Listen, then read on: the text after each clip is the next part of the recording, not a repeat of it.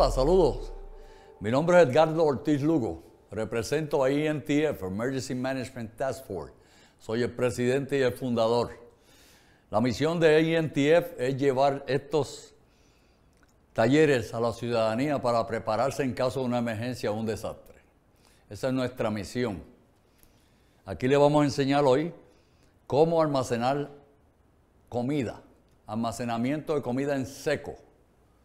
Esta paila se supone que dure 20 años, esperando en Dios que no tengamos que usarla nunca. Yo le llamo la última cena, porque se va a usar cuando no haya nada más. Por tal razón, pues hay ciertos gustitos que no van a estar dentro de esa paila. Todo va a ser seco. Es como los seguros de vida. Si no te mueres, no se cobra. Y aunque te mueras, tú no cobras. Así que esperamos en Dios que no tengamos que usarlo y pasamos, lo pasamos a nuestros nietos y seguimos por ahí para abajo. ¿Está bien? Así que prepárense que vamos a aprender algo bueno, bonito y barato, como siempre lo hacemos. Ok, comenzamos. Primeramente le voy a enseñar qué equipo necesitamos para poder hacer el almacenamiento de comida en seco.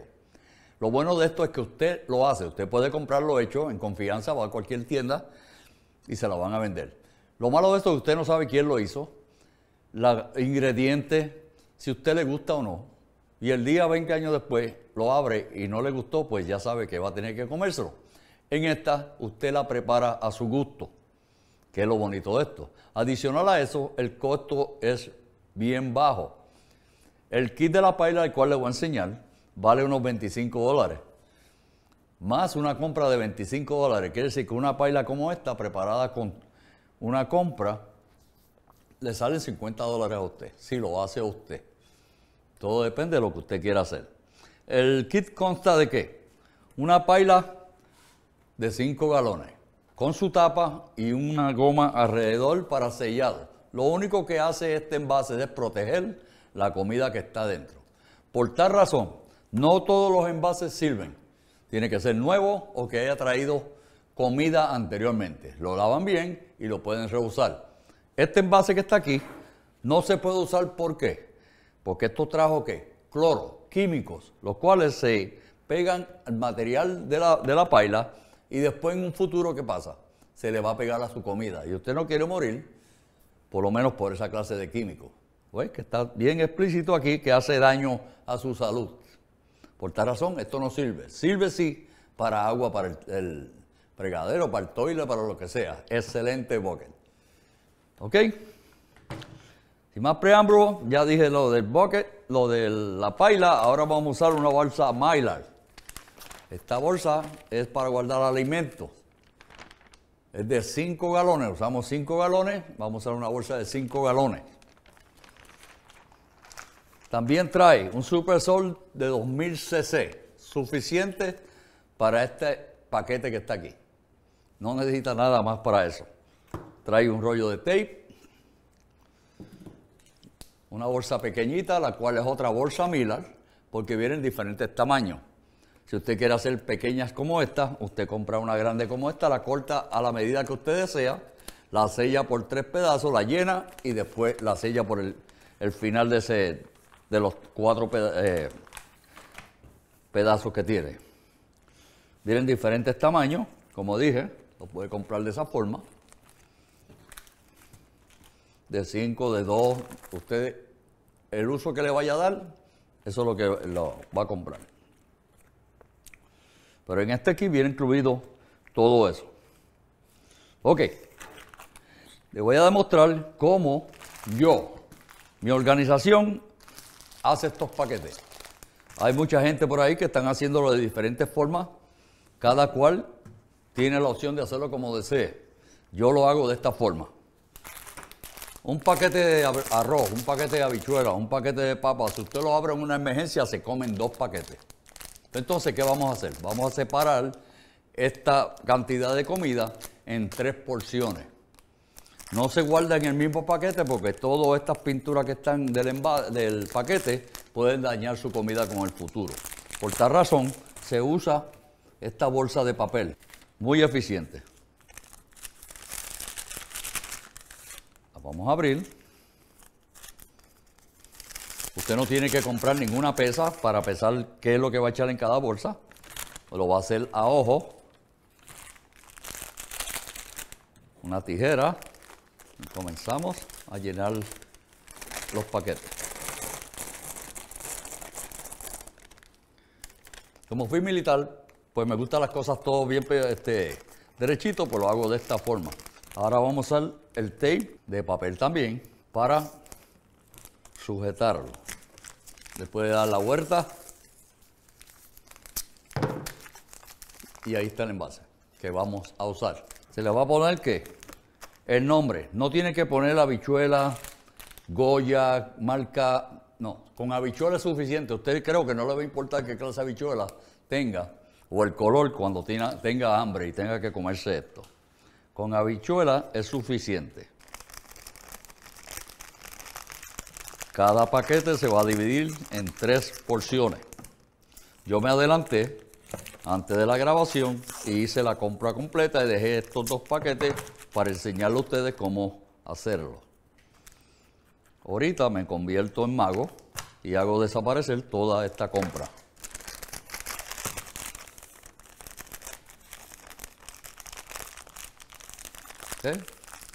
Facilito, con calma.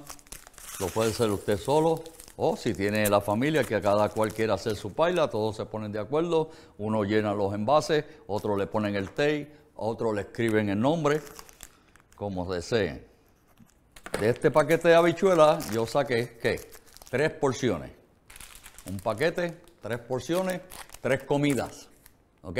Porque esto no es party, esto es lo último que queda y hay que estirarlo. Puede ser que sean tres semanas, puede ser que sean tres días, todo depende del hambre o lo que usted está dispuesto a hacer. ¿Ok? Seguimos con el arroz. Paquete de tres libras de arroz. Lo vamos a convertir.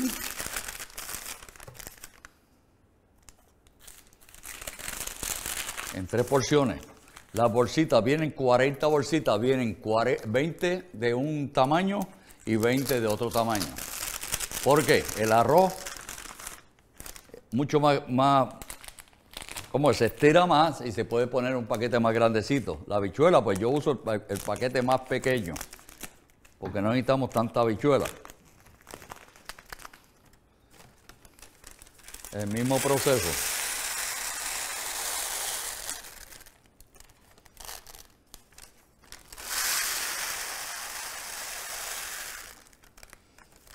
Si usted quiere hacer una paila solamente de arroz, lo puede hacer. Las iglesias lo hacen mucho, porque son muchos los feligreses que van a ir a buscar refugio en las iglesias. Pues por tanto, ellos pueden abrir una paila y comerse todo en el mismo tiempo. Volvemos. Tres envases, tres porciones, más o menos la misma cantidad. El mismo proceso, le sacamos el aire. Empacamos.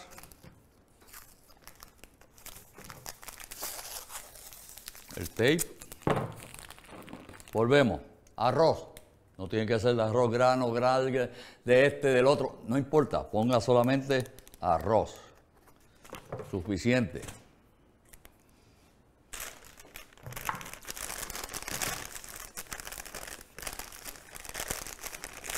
Para la paila en general, de un solo de arroz de habichuela o de pastas o lo que sea, no tiene que usar ninguno de estos procedimientos en cuestión de empaque. Solamente va directamente a la bolsa Miller. La llena y le hace el procedimiento que yo le voy a enseñar cómo sellar esa comida dentro del, de la bolsa.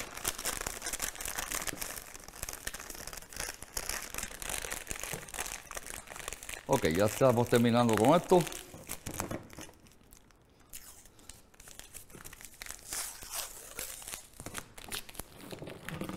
Lo escribimos. Arroz, tenemos arroz, habichuela, papas, pastas,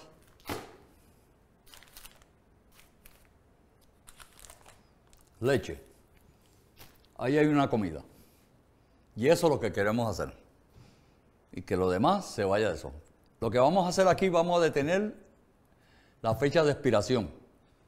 En cuanto usted abra esa bolsa mira después de sellada, tiene que comerse la comida. No es para guardarla para el mes que viene o la próxima ocasión. No va a saber igual, claro, nada, no va a ser fresco, con los años va a perder esa frescura, pero sí sabe que es una comida que está limpia. La hizo usted. ¿Ok? Seguimos. También haga una lista, por si acaso se lo olvida en algún momento, o 20 años después, o 5 años después, o 15 años después, pasa algo en Puerto Rico y hay que usar la paila, pues hace una listita, la escribe en una misma de las bolsitas o compra otra bolsita más, un pedazo de papel y escribe. No escriba arroz, yo rojo, nada de eso. No estamos buscando marca, estamos buscando que nos acuerde que tenemos. Arroz, habichuelas, pasta, café, leche, papas, almendras, lo que usted quiera. Después que sea comida que seca. ¿Estamos? Ok. Ahora viene lo mejor de todo, la magia. Ponemos nuestra bolsa. La introducimos dentro de los 5 galones. La paila. Y vamos a acomodar esta comida que está aquí dentro de este paquete. Empezamos.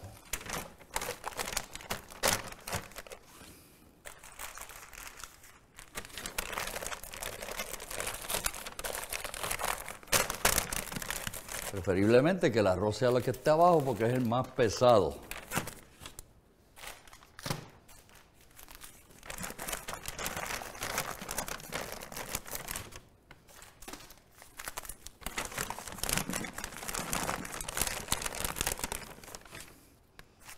Forma de ponerlo porque si no, no le, no le va a caber la comida dentro del envase.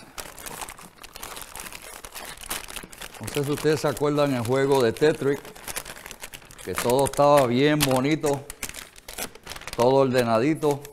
Pues esto es lo que está sucediendo aquí. Si pueden ver, ahí queda todo en orden. Y hicimos el primer piso, continuamos poco a poco, sin prisa, seguimos acomodando en la misma forma. Lo vamos a acomodar de lado así, no plano, para que todo quepa. Los paquetes pequeños, claro, van al final. Los grandes seguimos jugando Tetris. Hay un hueco que no cabe uno grande, ahí va uno pequeño.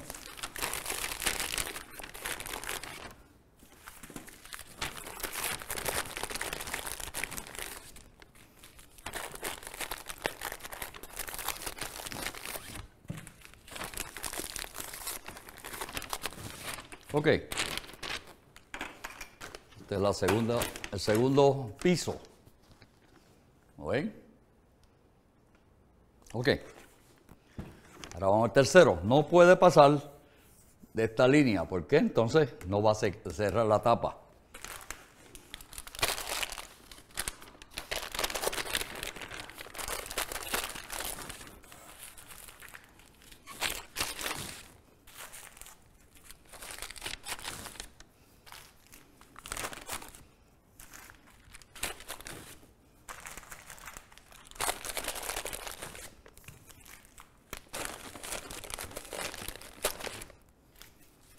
Mucha gente usa hoja de laurel, otra gente usa aceite, otra gente usa, usa, usa, usa. Usted estudie todas las opciones que tiene y hágalo como usted desee.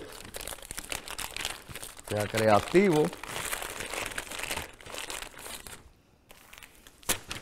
Y lo mejor de todo, esperando en Dios que nunca tengamos que usar esto. Que pase los años y sea todo historia.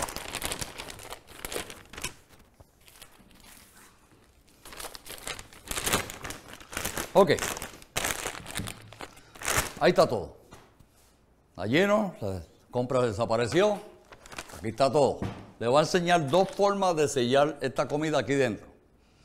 La primera va a ser como se hace normal. La gente dice que eso hace normal. Ok, vamos a usar un supresor de oxígeno. Está aquí. Si usted quita este supresor fuera de este, lo saca de aquí, empieza, se activa. Por esta razón, pero este casi está lo último para usarlo. Lo que necesita solamente uno. Hecho. Con calor, vamos a qué? A sellar esta bolsa. Si usamos una plancha como esta, que la tiene todo el mundo en la casa, pues necesitamos una tabla. No pude traer la tabla, pero traje esta. ¿Eh? Tenemos que lo ponemos aquí. ¿Están viendo? Venimos. ¿Y qué? Le damos calor hasta que queda sellado. ¿Ok? Lo que va a hacer el filtro, el, el supersol de oxígeno, es que en 45 minutos a una hora succiona todo ¿qué? el oxígeno y el aire que está dentro de esta bolsa Miller.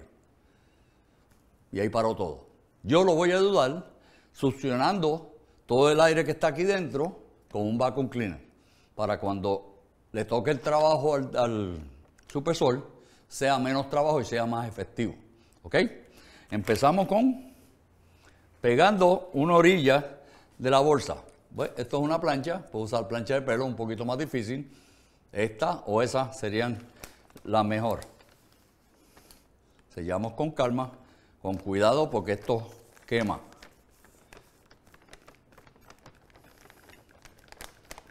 Con calma, no hay prisa. Dejamos un hueco para que la, la manga del,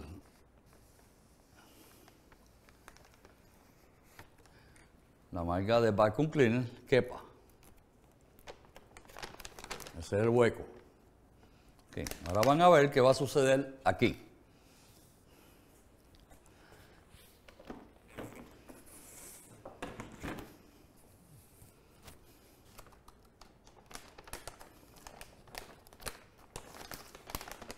Ok.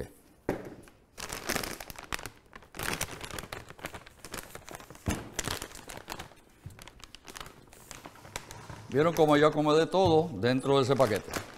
Ahora vean lo que va a suceder cuando yo succiono todo lo- el aire que está dentro.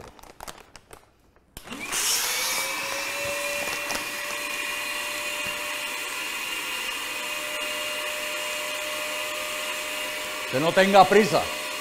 Déjelo que succione lo mayor, el mayor tiempo que pueda.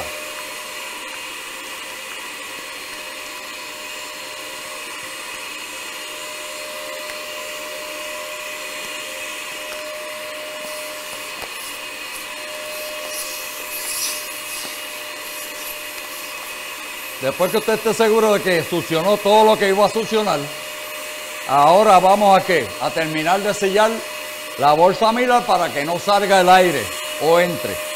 Perdón, que no entre aire.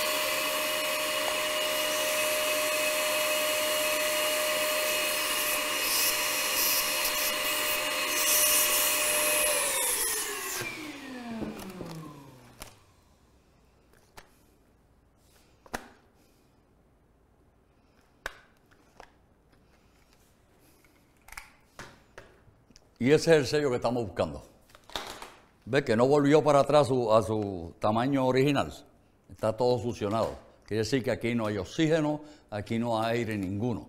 Todo está, ahora lo que queda ahí, lo poquito que quede allá adentro, el supresor lo va a absorber. Volvemos, lo ponemos aquí nuevamente. Cabe muy bien porque está delgadito ahora. Ponemos la lista aquí dentro, por si acaso.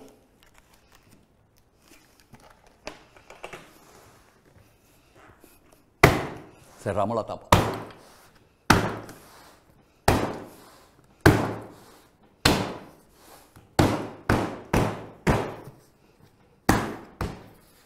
Ok.